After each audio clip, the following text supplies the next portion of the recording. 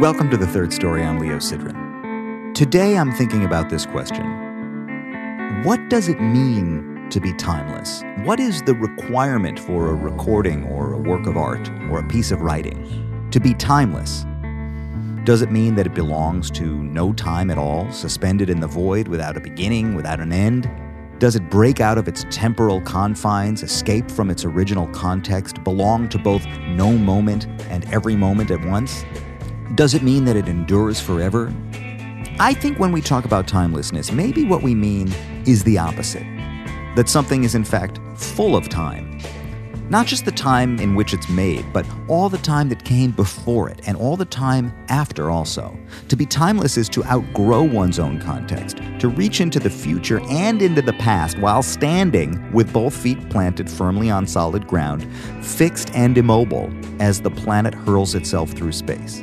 And in that equipoise, if one is able to crank out a lyric, a melody, some idea, maybe they can achieve some degree of timelessness.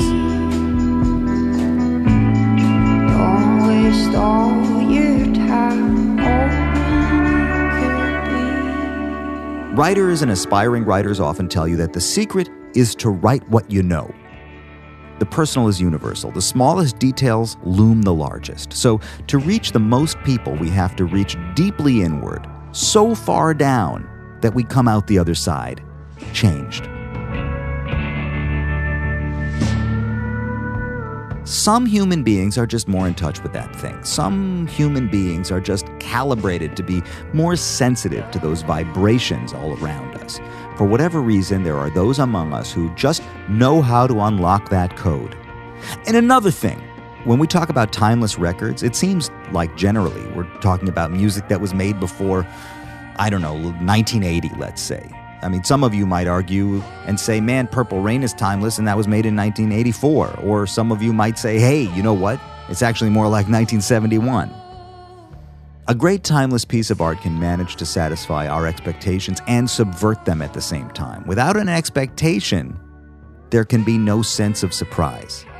You know that thing when you think you know what's going to happen based on what happened before, and then something else happens that's both unexpected and also totally inevitable? That's timeless. Okay, you say, but what has any of that got to do with S.G. Goodman? She sings the blues. Isn't she supposed to be today's guest? Oh, well, yeah.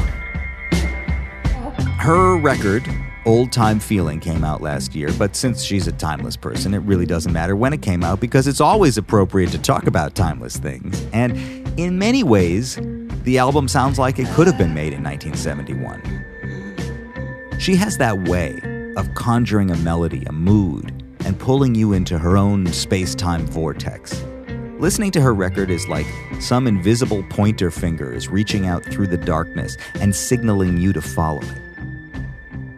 SG was raised in western Kentucky on the Mississippi River Delta in a strict church going family of row crop farmers, so becoming a musician was not the obvious choice.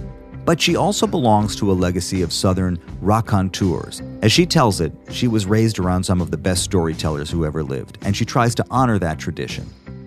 Her debut album leans into that soulful Southern tradition, but also upends it in a way, or at least updates it. Oh. She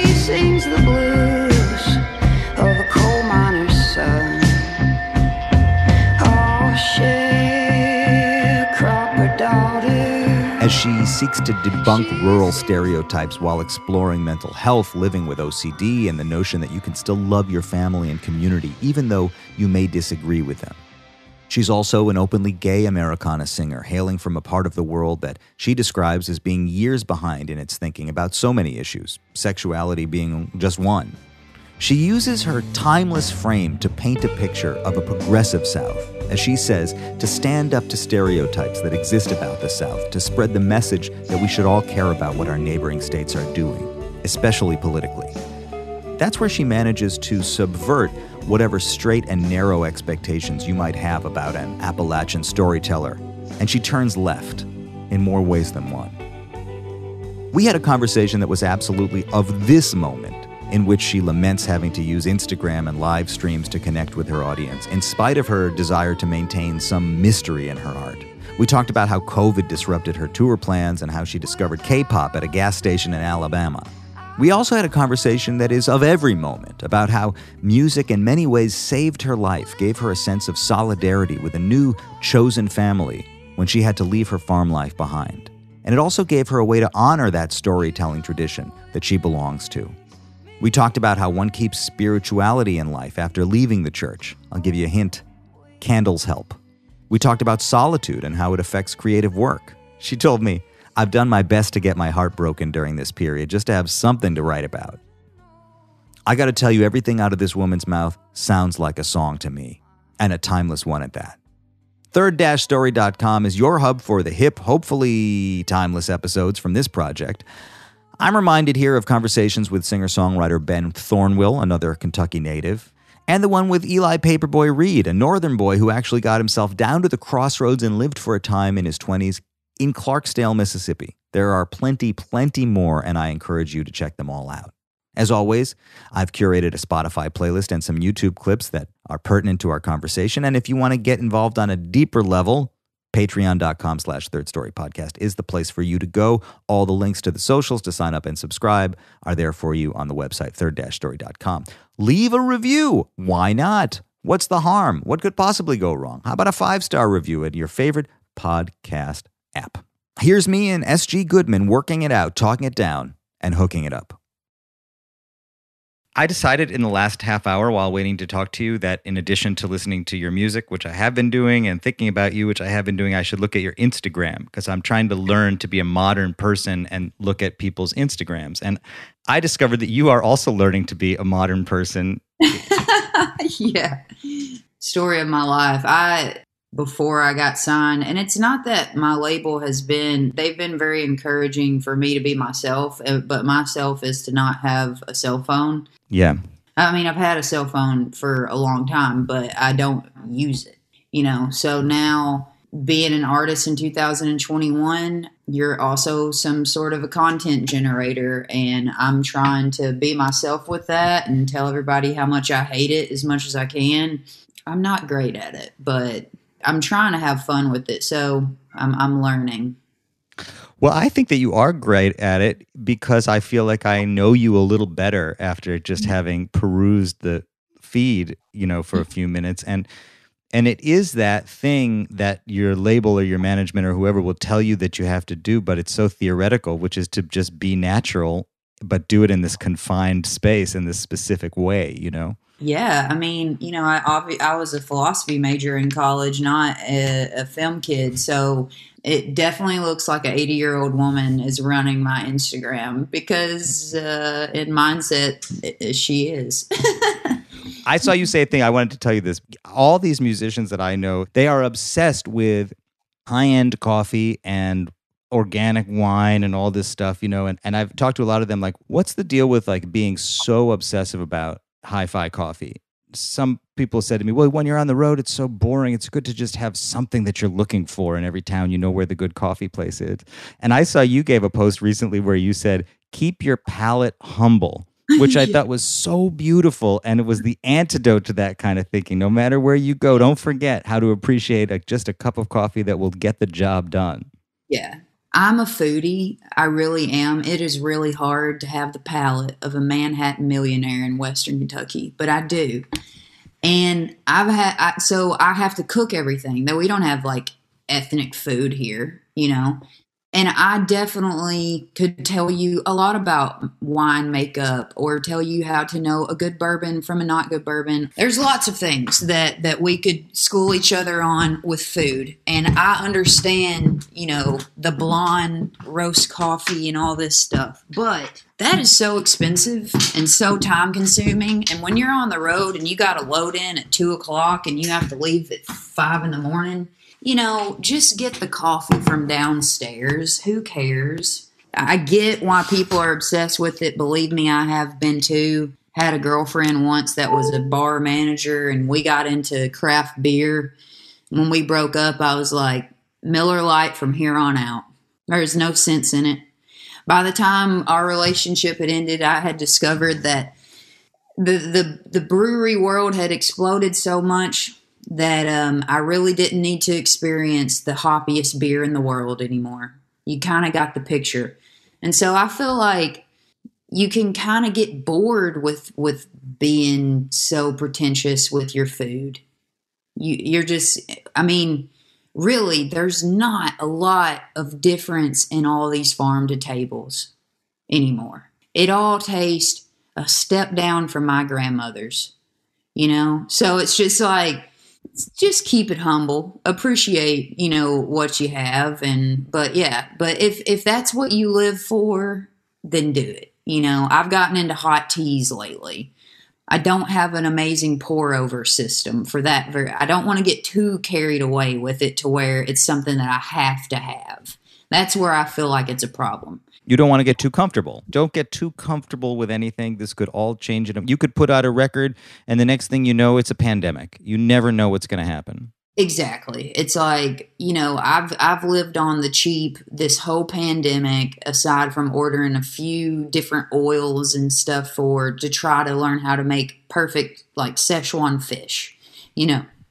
But besides that, yeah, I'm not I'm not to, you know, get on the coffee subscription or anything like that because at the end of the day, I don't want to feel like a drug dealer when I'm doing my coffee in the morning. I don't want to weigh it out to the gram and all this stuff. That's great, but I'm, you know, it's just shit. The only thing I will say that I have not done, I, I don't like kitchen appliances. I don't have a coffee maker. I have, I just have a pour over system or whatever, which makes me do something active immediately, which is good and bad. But there was a moment in the pandemic where I thought about getting a Mr. Coffee and setting that timer.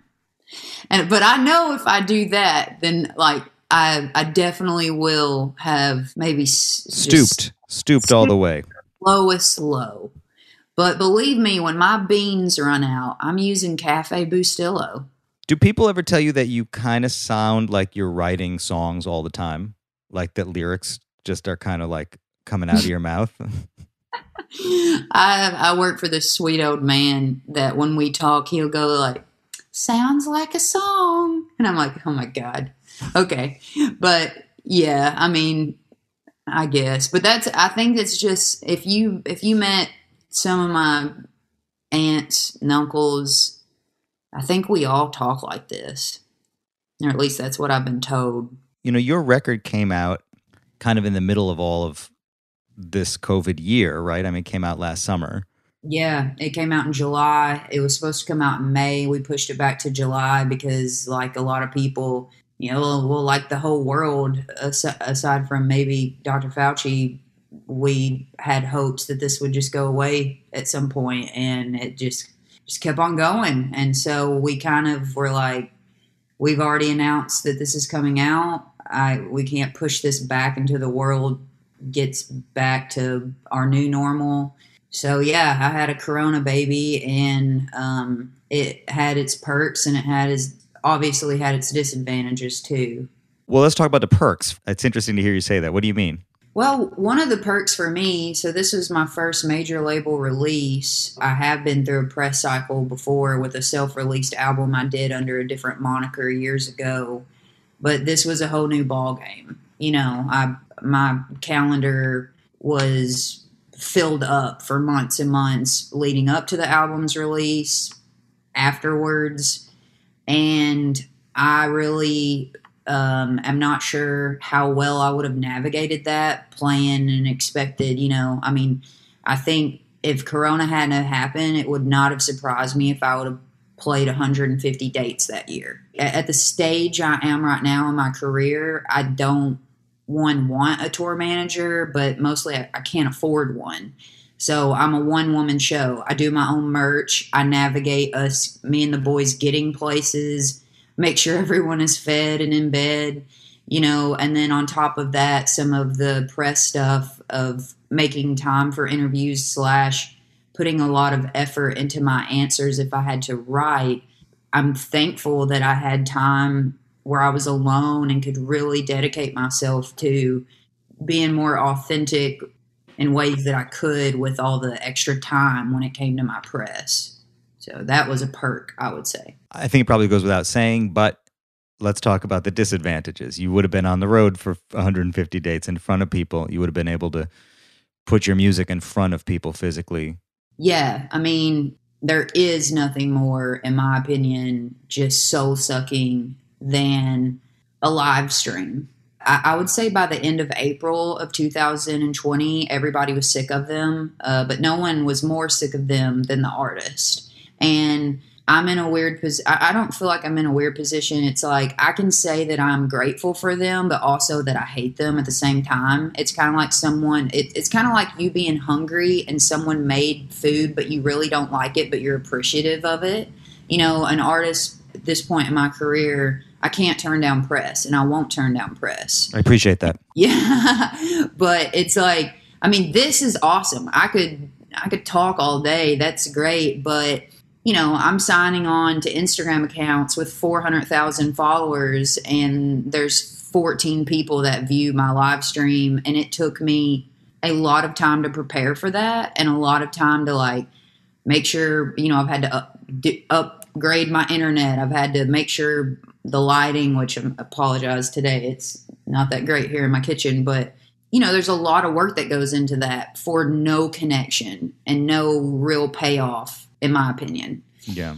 And so that that's a, that's a bummer. But yeah, it, the the lack of connection with your fans in a way that's natural for an artist was pretty much gone. So that that was difficult. And yeah, it's um you know at this stage of my career, you know when I signed my recording contract, I had four, maybe 400, a little over 400 followers on my Instagram because I never did it. I was terrible. And so I've watched my platform grow slowly through this non existent touring life. And that's been really cool, but it's obviously not what it would have been if I could have been more organic about getting to meet people, you know?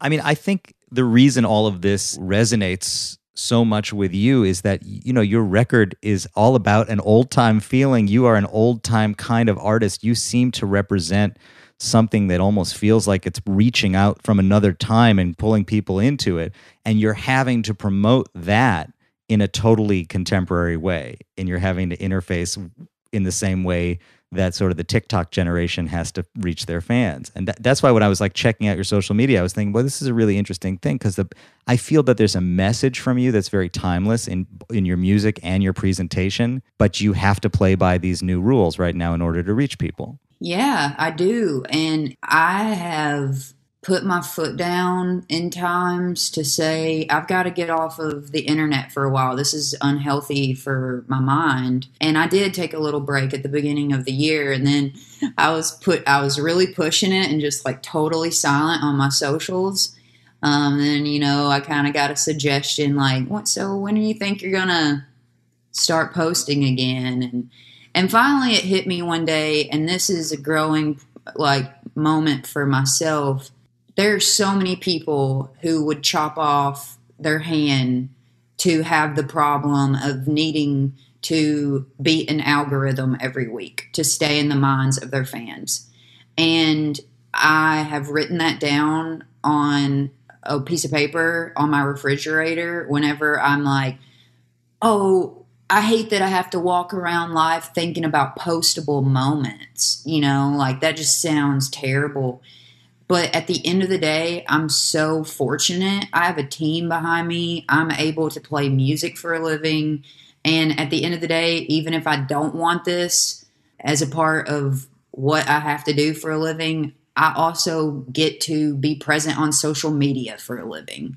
And at the end of the day, I need to quit complaining and just do it because if I allow myself, I can have fun with it.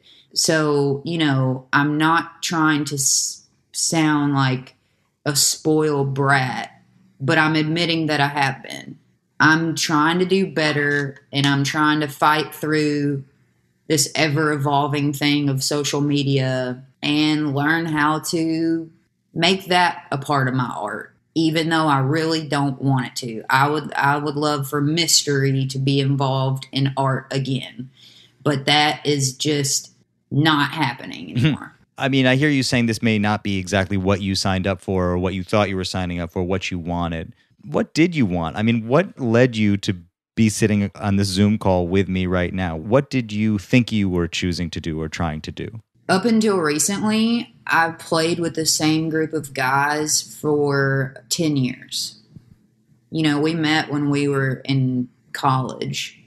I've been a songwriter for a long time and I played music before I met them. And songwriting, no matter if I was in school getting a degree or what, it's never been something I could get away from. It's always been something that's very natural. I don't like to say like it's a divinely given or anything, but it definitely, I didn't ask for it. Definitely, I haven't worked hard at it. Hmm. You know, I mean, I have worked hard at it at this point, but as far as my natural ability to capture music and lyrics and melody and things, it's just has been a part of of my life and experience for so long. But then when you get to mix in, because I'm from such a small town, also a place where family and loyalty is so big, when I started playing and built friendships with my boys, um, and just a part of who I am, I'm a very like motherly person. I've wanted to build a career to support and to pave a way to keep those people in my life and to make sure that like my band comes first and a lot of artists one they i would say i would say they're not lucky enough to be able to maintain relationships for that long.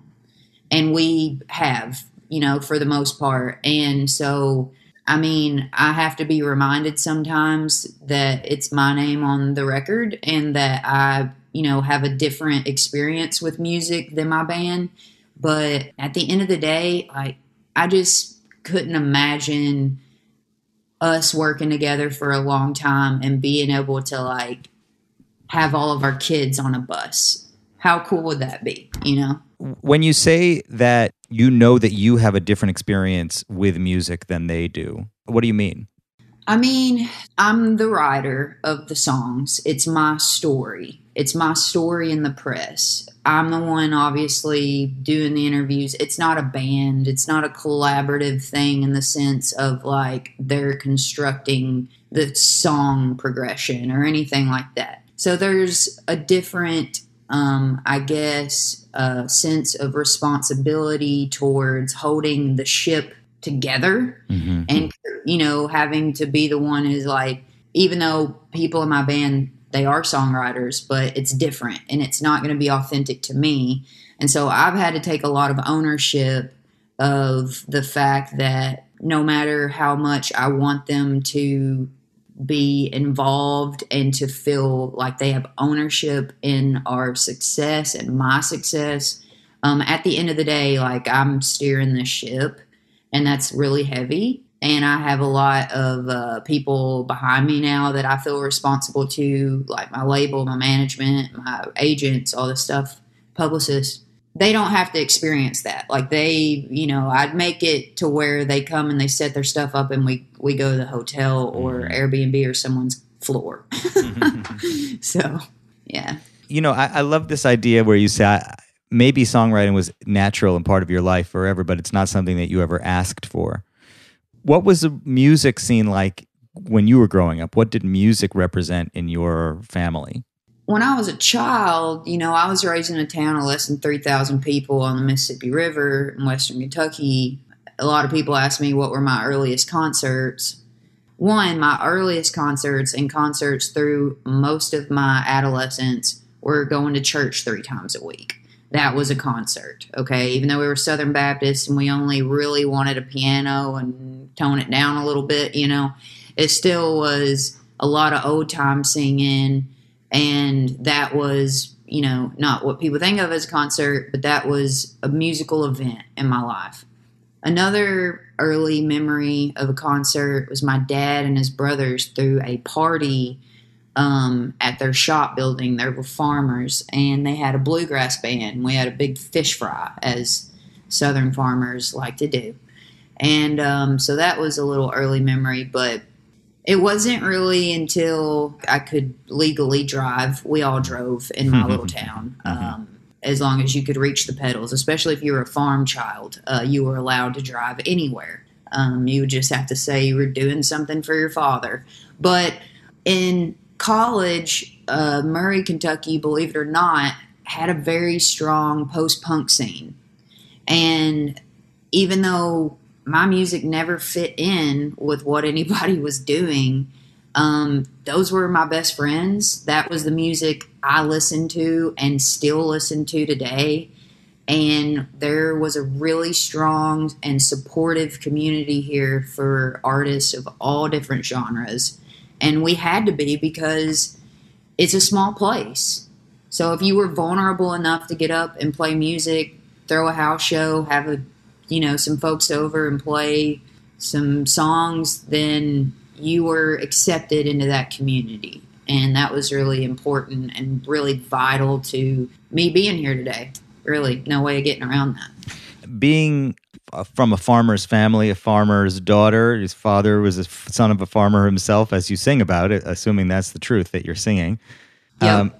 studying philosophy, becoming a professional musician, identifying as part of an artist's community, this doesn't seem like something that was particularly easy or familiar to you or anybody that you might have known coming up. No, I think that has been a uh, source of contention at times uh, between me and my family because even though they've been supportive in the ways they can, I just think with being that we're farmers, um, that requires an enormous level of codependency in our hmm. behavior and the way we react and act with each other as a family. The way we get knowledge of how to do things on our farm comes from older people in your family instructing you. And so, me venturing out into a territory where there's not a lot of room for advice other than please God don't do drugs, you know, or Mm. you know, kind of like spinning off on things they've heard might could happen from big wigs in the industry taking advantage of you. Yeah, I think there was a little bit of panic at times with just the fact that they're not in control in the way that they would have been if I would have went back to Hickman, Kentucky and farmed. Was that a struggle for you? I mean, there's a lot of reasons why I can't go back to Hickman, Kentucky and farm. Maybe if those reasons weren't there, then I would have because I love it. I, I absolutely am very connected with that way of life. It's something that I understand and just I know that it is so rare and going away and the fact that my family has been able to have a business in farming that has survived as small farmers it's it makes it to where I feel even more obligated to be involved because it's like it's a dying breed, you know, and it's not like my family, you know, my grandfather uh, Bill Goodman started out with 62 acres as a sharecropper, died as a sharecropper. He did own land towards the ends of end of his life, um, but you know he built his farming operation up to 10,000 acres at the end of his life, Mm. and then his sons took over and. Like a true Southern tragedy, they split it up. They can't get along. Uh, and my dad is still farming, and now my oldest brother is back home with him. And there's something really special, and you feel so connected to, uh, you know, your family through that opportunity. Because if it wasn't for my grandfather with a sixth grade education, believing in himself and being business savvy, then I wouldn't have had the opportunities that I have. So you feel a need to honor that by keeping up what he started. But my brother's doing it, and you know my brothers also have kids, and I don't feel the need to have to farm or have kids, so it's great. Yeah, and in a way, I it seems that you have made an effort to honor it in your way because you sing about it and you tell stories that feel very rooted in that reality and that experience, which is a, a way of honoring it, it, it in in the way that you can, you know, and be true to yourself. Yeah, I mean, I think that's really my power as far as what rural life has given me. And one of the things is I was raised around, maybe I wasn't raised around amazing musicians, but I was raised around some of the best storytellers that ever lived. And I've learned the art of that in conversation and writing. And, um, you know, that's a, that's an art form in itself and I just, yeah, I do feel like it is my job to honor that tradition that comes from Mm-hmm. front porches of rural places. And um, I'm just, yeah, I guess lucky to be able to do it through music. But you also said, uh, kind of leading up to the answer to the question, that there are a number of reasons why you can't go back and farm. And, you know, I can't help but wondering if coming from a small farming town, you know, your sexuality has been a problem or even something that people talk about where you came from. I mean, I'm sure it is. They talk about everything. I to spare myself any sort of grief, I've uh, I keep to myself when I go back and do my business and get out of there. And it's not because I don't feel like there aren't people there that would want to express love and support for me. But I know where I come from and I know the mentality. I know what the churches say. And uh, I just really don't see a need to even have that question answered so much all the time because I know from experience of people who are closer to me who had very, very negative reactions that I don't need to chance a neighbor I grew up down the street from having the same one. Like, I don't deserve that. And I don't really care to have it. So, that's really, I mean, sexuality, yes, is a thing, but I don't even feel Hickman in certain areas. It's like going back in a time capsule. There's a lot more issues other than my sexuality that they haven't caught up with, and uh, I, I'm not a dumb person. And I can, if if I think they're 50 years behind on something that's way behind gay rights or being progressive in that way, then I know that my time is probably not going to be here until after I die. So why go back and you know get my heart broken over it and put two and two together? Yeah. I read something you said in another interview where you said that you weren't in a situation where you were able to come out, but that you were found out rather than having an opportunity to kind of own that experience for yourself. Yeah, I was. I don't really get into that too specifically in my interviews or anything, but I yeah, I I had a I had a big plan about how I wanted to come out, you know. Uh, but that was not possible. I, you know, like I said, I was a philosophy major. I had big plans of. Um, I am still interested in law, and uh, I I wanted to like have a career and be successful, and and the negative response and the fear around gay people, I feel like with those people who are close to me comes from lack of exposure. And it's not like there was, I'm talking about any examples of like a quote unquote successful or quote unquote normal gay person in their daily life, period. So I can understand that, you know, and I and I knew that at, at a young age, and I knew that in order for for maybe to have a different response than what I received, I would need to earn respect in different ways so that could maybe be looked over.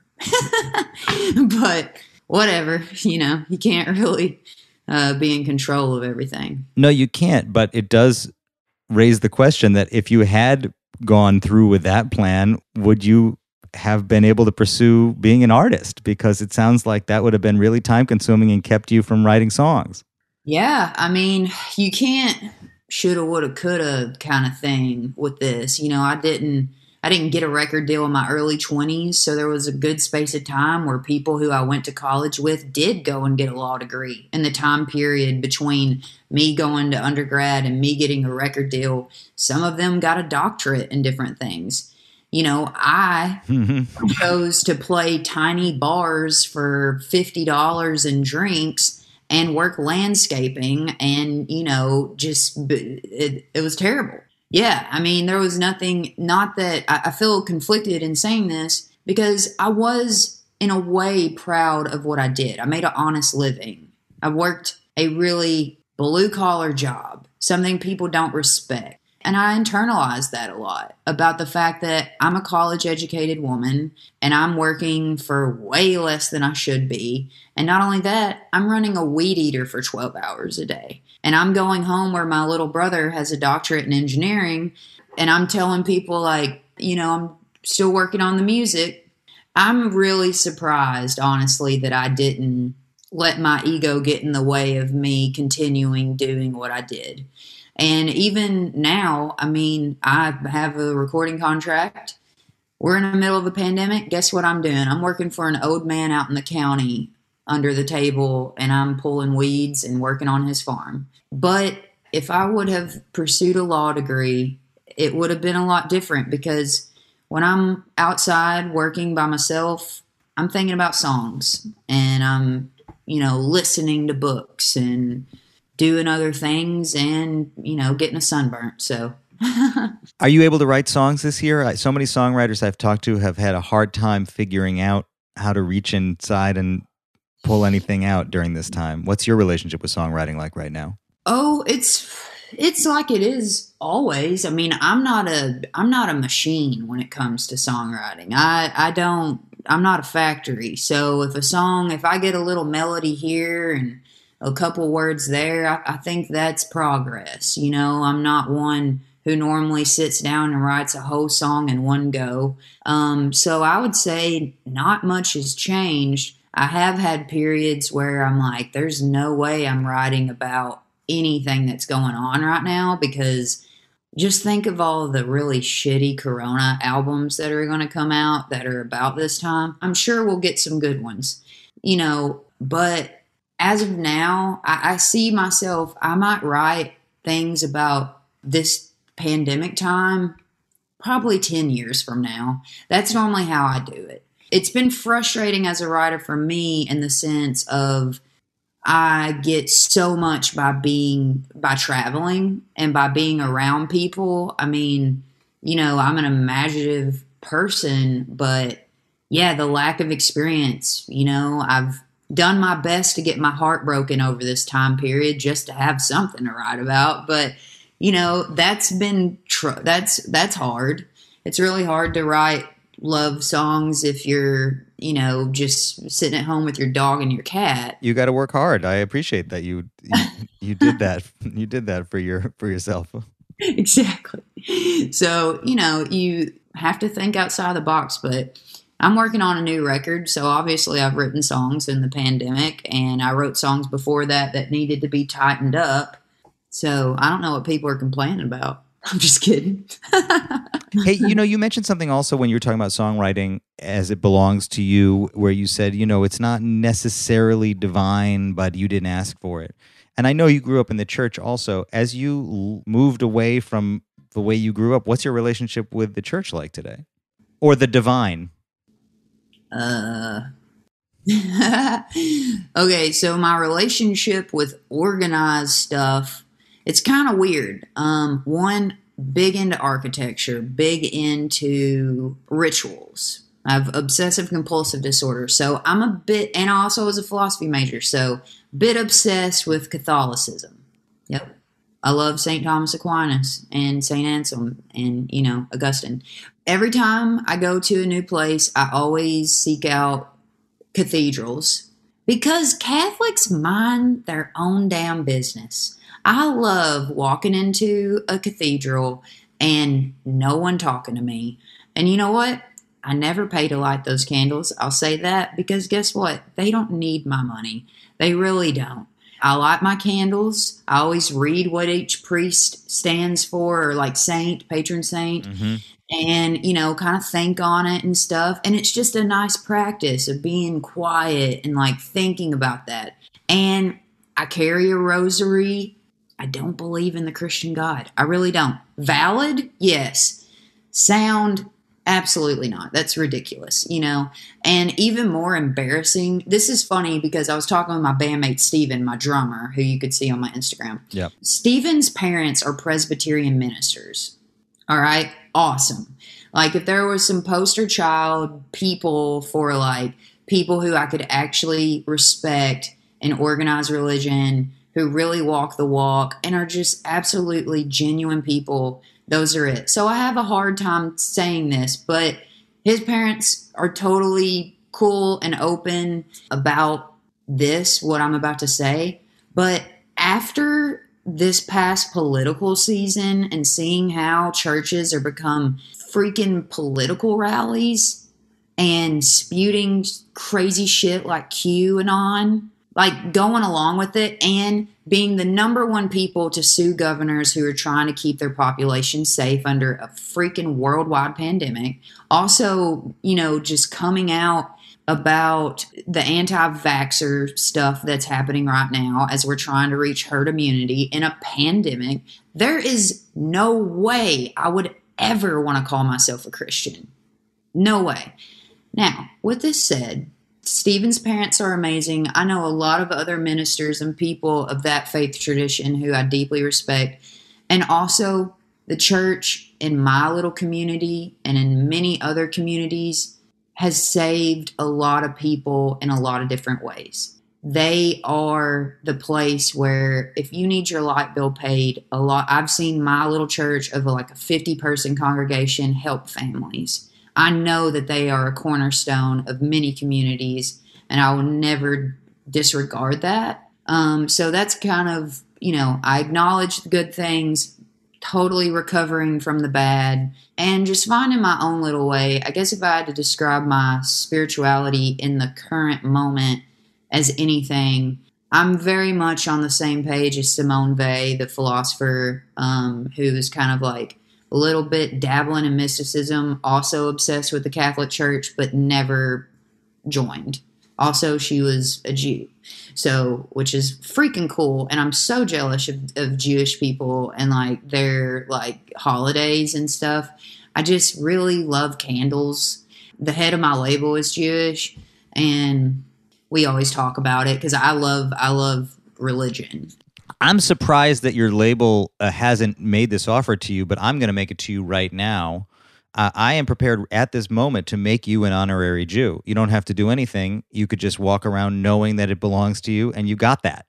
Wow. I mean, you know what's weird? My name is Shaina Goodman. Like SG stands for Shaina. Shaina is a Jewish name. Shana Putum, you know, like this stuff. Like, I don't know why that I'm not actually Jewish, but I will take honorary Jew. I've that's going to be so much fun with the holidays and stuff, and I'm going to get into this. Why change from Shaina to SG? Well, you know, you might be able to spell it and pronounce it, but the majority of the world cannot. That's one thing. I, I mean, I know a lot of people who maybe can spell or pronounce my name are like, that's ridiculous. I'm like, you didn't grow up with that name. I've been everything from Shauna, Shanna, Shaina once at a basketball game. I was starting, and the announcer was like, Shaina Goodman. I'm like, what the fuck? Are you kidding me? anyway, it's just simple.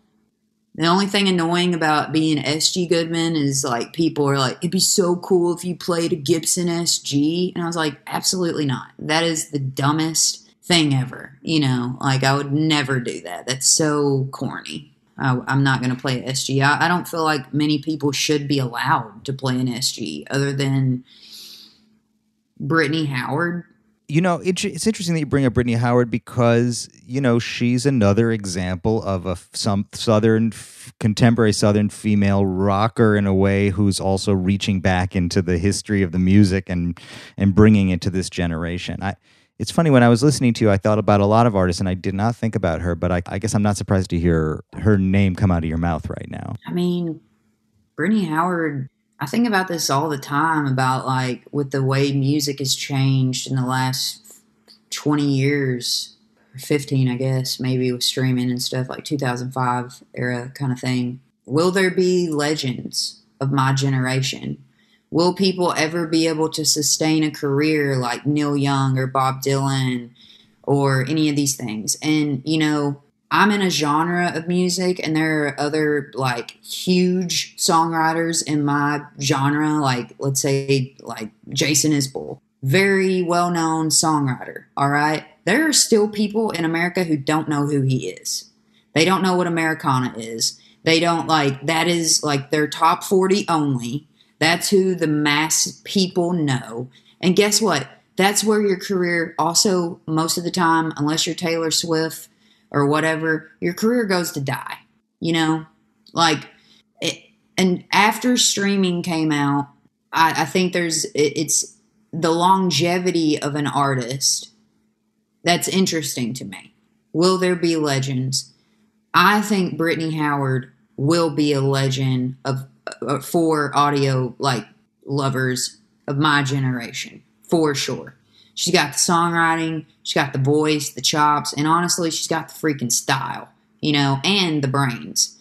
So, like, yeah, I think like good possible contender if something doesn't eat her up in the industry, you know, which she seems too smart for that. So, I but I think it also speaks to a larger point, which is can anything really resonate with everybody anymore. You know, you have your Dylans and your Neil Youngs or whatever, but there were, you know, there were also fewer people making records at the time, and everybody, you know, was essentially watching the news on one of three channels at the end of the day. It's just less possibility to define yourself by these little tiny micro choices. And I think about that. I mean, you bring that up. I, th- I think about that all the time. What does popular culture mean in a world where there's no agreement on what our culture is?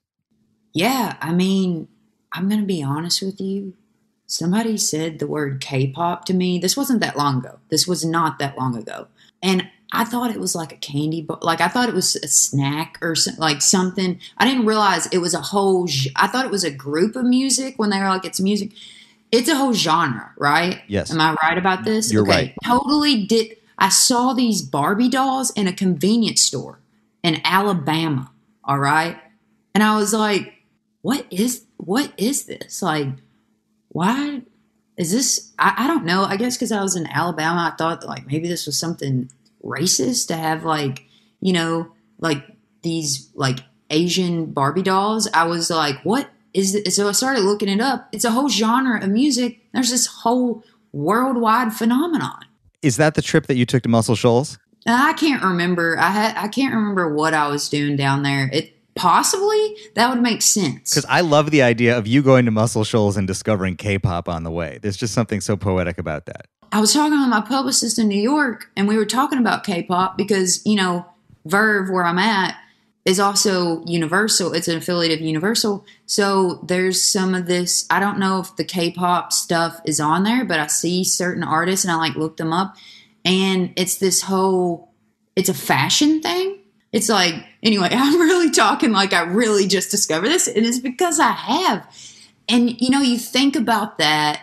You think about like that's like girl and boy groups, like what I grew up with. And now it's coming back in this weird way. And this whole new like food way and stuff too. Like there's food attached to it. Like there's like, there are snacks and like all this huge culture around this genre. Anyway, I don't know how long that's going to live obviously the boy band stuff here didn't live like every generation they have like one trial of a boy band you know? And then but like that was that that kind of had its time in my childhood you know? We had NSYNC uh 98 degrees all that stuff. Like that was kind of a big thing for a moment. So i'm interested to see where this goes. But as far as you, i think you hit the nail on the head when we're talking about you know, legends and the fact that we have so much music to choose from. The first producer I ever worked with, I was 18 years old.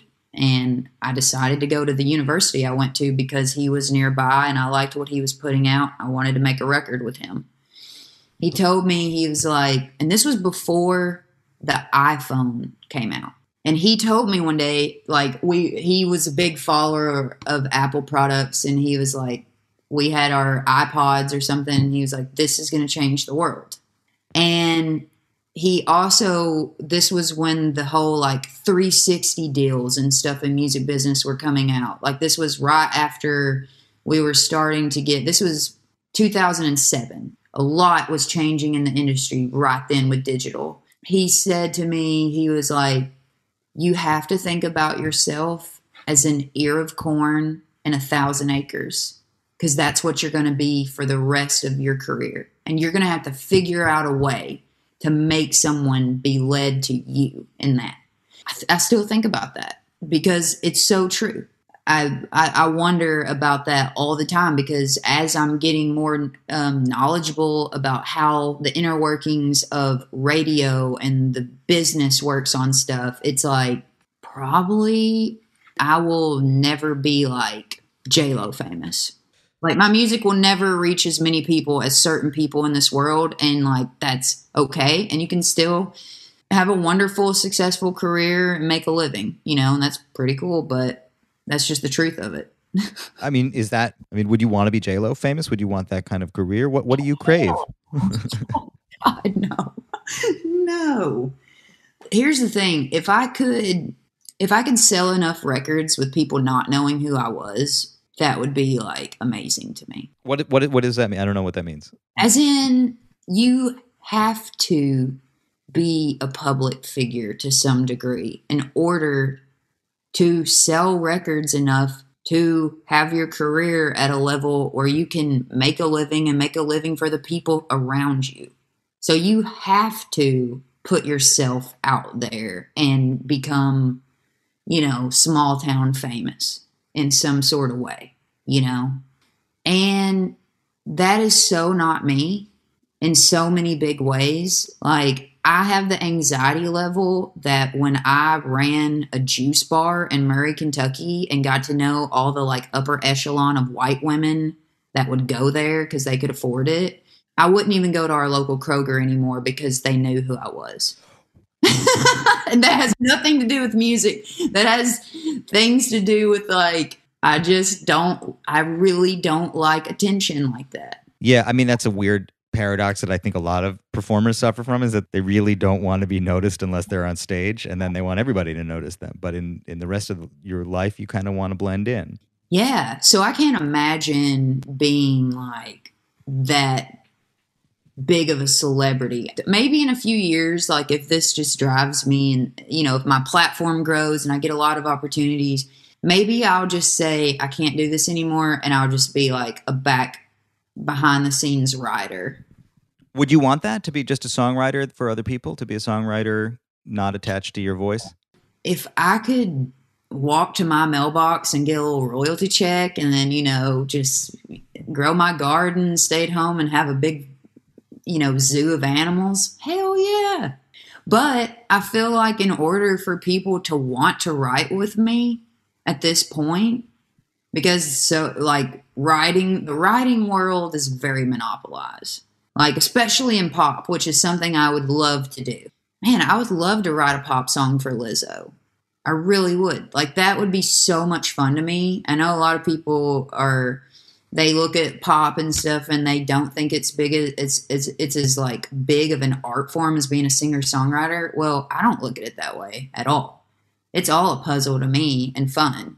That would be so cool to get in like to producing and stuff like that. That would be awesome. So maybe that's where i'll end up but i feel like right now in order to be able to break through that ceiling of saying like hey this girl she can write a song you know? And i respect what she does. Probably going to have to build that myself first. I talked a couple months ago to a great singer songwriter from england named imogen heap. Yeah i've been following her for years. She's wonderful and she has a co-write with taylor swift on taylor's 1989 record which was this massive hit record. And i asked her how that happened and of course it didn't seem to have happened through publishers or managers or labels. It happened because Taylor liked Imogen and called her and said, I want to write a song with you. I get the feeling that for you to be in the room with Lizzo or whoever it's going to be, it's going to be because enough people have found you and fallen in love with you that they just find you themselves. That's what it's going to be. I, know, I mean, that's that's how it is. Like so much, everything. You, you can do this in a gross way, and I've seen it. Ladder climbing and all this stuff, the networking side of things. If you are authentic and you are a genuine person and can maintain relationships and and just you know to be short, not a asshole, then people will want to hang out with you. And that is one of the best things about this industry is because no matter take away all of the legalities, all of the business side, it is really an industry based on relationships and those people who can sustain them and nurture them in a in a real way. And I think that is something really amazing about the music industry is I mean, I know there are terrible people out there but I'm not around them. And and I think like not to get too like hippy dippy, but it's just the energy you put out. Well, that you know that's why as you're saying this, what I'm thinking about is all those years you were working um, in people's gardens or whatever, you know, trying to make a living doing that music thing while your college friends got degrees. You know, you almost wonder if you had gotten the deal sooner if you would have been ready for it. Hell no. No, I would not have been. I mean, with my o- OCD, like I did a lot of self medicating, just smoking pot, like a lot of pot. So I was paranoid a lot, you know, and it, it was just like I was too my frontal cord. If I, I, I, I was dealing with mental health, hadn't had that figured out, wasn't disciplined enough to take ownership. That would have been an absolute nightmare with having to like one trust my manager, being mature enough to say when I need help or when I don't or whatever. You know, there's there's a lot of things that I'm so thankful that me and my bandmates are the age we are right now. We're not partiers, you know. We also have like a lot of my boys, they have families. We're not like children, but like we're getting to the part in our life where that is a conversation. And that's crazy. One, really crazy. And we all are the type who if shows could happen at five in the in the evening and we could be back in a hotel room by like eight thirty, oh my god. I have to tell you, I really hope that as we put the business back together now, after taking a year off, that a few of us can be honest enough to raise our hands and say, I don't want to be waiting until midnight for my favorite band to go on stage. I have shit to do tomorrow. It would be great if we could do this earlier. I hope that happens. I'm tired of this acting cool business. I mean, I'm around a lot of different types of musicians, like some people who their main hours are between like 10 and 3 in the morning. And my body is like, no matter what, during the pandemic, people, you know, people had weird sleep schedules. My body, it is at, at its best when I go to bed before nine o'clock and wake up before five. As a musician, and, you know, like there's a perk sort of to being an opener because I get my job done a little quicker. But I gotta wait till the very end of the night to get paid up and leave. I can't be rude. So I'm sitting there like falling asleep. I can't I can't even watch the whole show like in a in a stream of shows with people that I'm opening for. Like let's say I'm opening for someone 10 nights, like I will watch the entirety of their set twice because I've just got to go take a nap. you know, it's like I can't I can't get sick and I'm not going to get enough sleep in the night, so I've got to, you know, just do what I can to help myself. I was not actually built for this career in any kind of way as far as my body's needs for sure. And yet you seem like such a natural, so it's a it's a funny thing. I know we've been talking for a while. I just want to talk ask you about well, kind of two variations on a theme that you have been outspoken about, and that is really the South. With the limited platform that you have been able to build through your music and through Instagram and all of that, that you really did take advantage of the platform in the last year to be outspoken, particularly about the kind of toxicity in the political sphere in Kentucky that you see. You're not afraid to talk about Mitch McConnell, and you've been kind of outspoken as a representative of the progressive scene down there. Yeah, we're here, you know, and we've been here.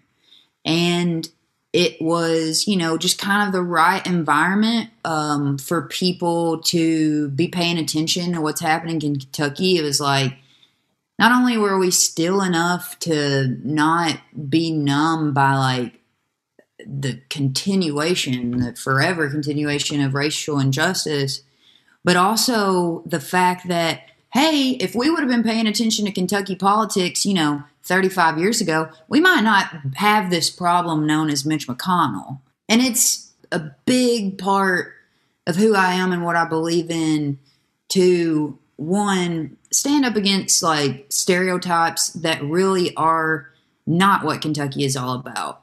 To let people know that there are people who are giving their lives for um, progressive policies in Kentucky and in the South. And just to spread the message that if anything positive came out of us being a pandemic, it's that we should all realize that we should care what our neighboring states are doing politically because that could affect all of our lives, period. Like, we have to be more involved in political races outside of our state. Hmm. That's my belief. And, you know, we're going to have another, uh, you're about to hear me go way off on my social media in the next couple years because the cancer known as Rand Paul is up for election in our primary. And Charles Booker, who was an 11th hour candidate last year against Amy McGrath, who should have, you know, have definitely been in that position other than Amy, in my opinion, um, is I think he's flirting with running against Rand Paul. He's got an exploratory committee out right now, um, which, from what I understand, is basically they're trying to raise a good chunk of money to show the DNC that you know it's worth their time to get behind him and early. What, mistakes or, or misconceptions do you think the North makes about the South and about Kentucky? I mean, do you think that it's? I'm hearing you say that. Well, it's kind of written off that people just don't get involved in the North in in Southern politics when maybe they should. Yeah, well, one is that it'll never change. The South has already changed once. It happened in 1985 when Mitch McConnell won his first Senate race. There were no Republican strongholds in the South. That race by itself showed the South that the Republican message could take over. Guess what? We had a huge victory in Georgia this year. That same thing, which is why you're seeing all these voting restriction laws being passed in the South in states that are purple or possibly going to be full blue or kind of purple. Yeah, they know the power of one place flipping because it's happened before and it changed the politics for the last, you know, shit, 40, you know, like 35 years. It's changed the whole country, one race, and it was Mitch McConnell in 1985. And so, right now is not the time to abandon the South because Mitch McConnell was reelected. All right, right now in the state of Kentucky, Mitch McConnell was reelected. He also, in an all Republican legislature in our state, is trying to push through a law um, that would make it to where our current Democratic governor, very rare thing, um, could not elect a person of his choosing to fill his seat if Mitch McConnell were to die. There's all kinds of crap that people need to be sounding the alarms about in the South. And guess what? Nobody in this nation can say that the election or that Mitch McConnell being Kentucky senator hasn't affected their daily life. It has. And so that's reason enough why everybody should be like, okay, we should probably check on, you know, crazy uncle down south because we all need to be involved in those races no matter what because what is happening in the south is going to affect the entire nation's policies. Period. During this last, I mean, over the years I've thought about this, and during this last year, I really thought about how big our country is and how diverse it is on so many levels. And sometimes I wonder if it's just so big that it's hard to move the dial across all 50 states through geographic and miscellaneous forces that it that we're working against. Do you always feel like a southerner when you're in the north when you're outside of the south are you more aware of your southernness? Oh yeah. I mean, definitely.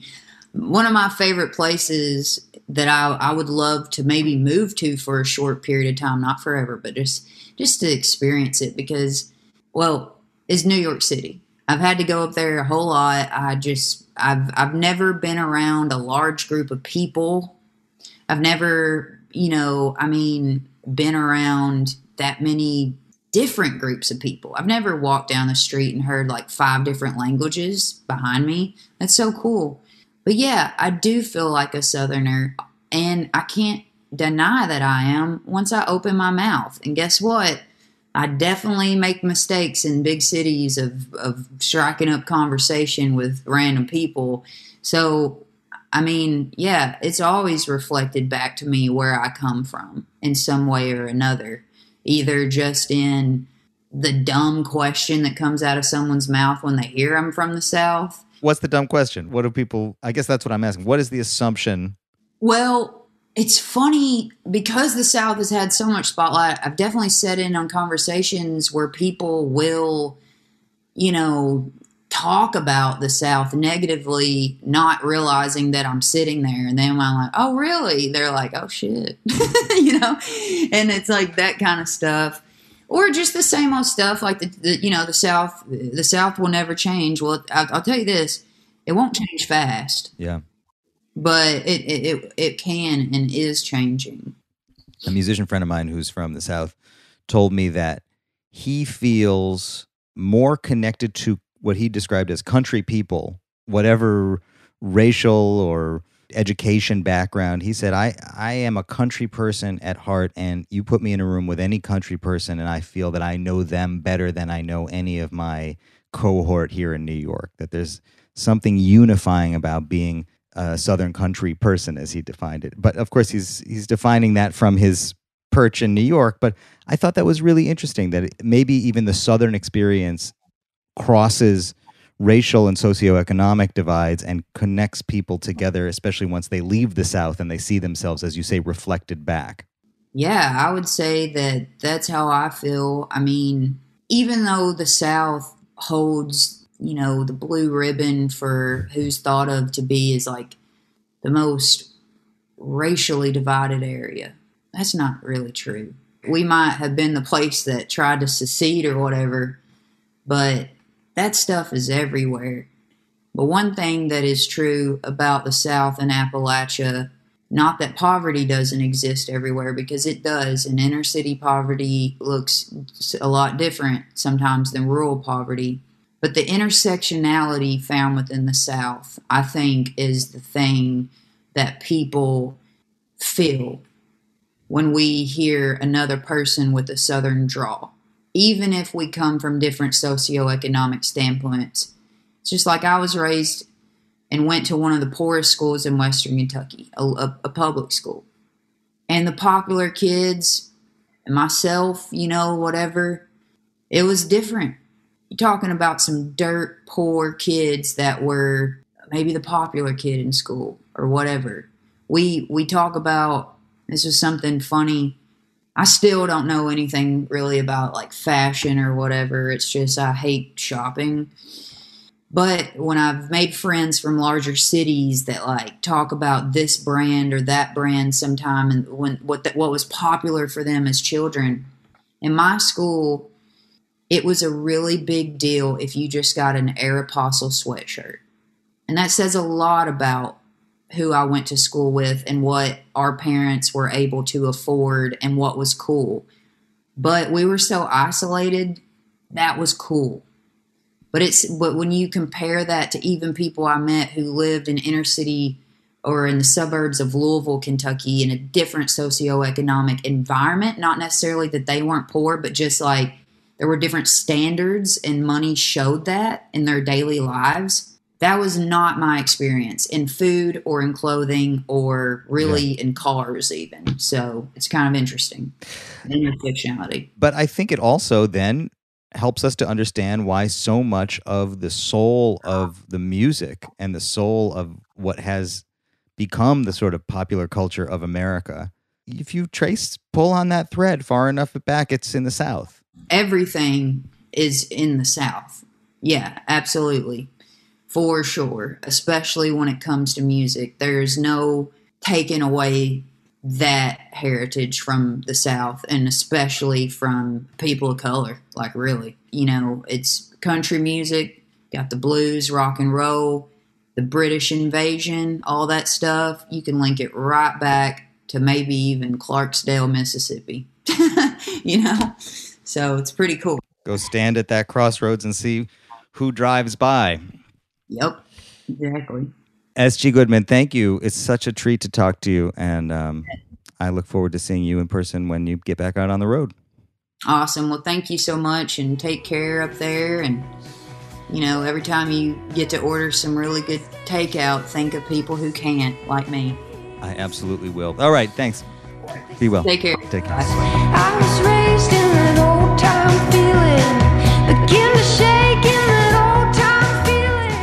There she was, my friends, SG Goodman. What a lovely conversation. What a pleasure to talk to her. Something beautiful about that way that she speaks, the way she calls it down, the way she conjures her words and makes her voice curl in the air like smoke. I dig it. I'll be back again before you know it with another deep dive. Until then, I'll talk to you soon.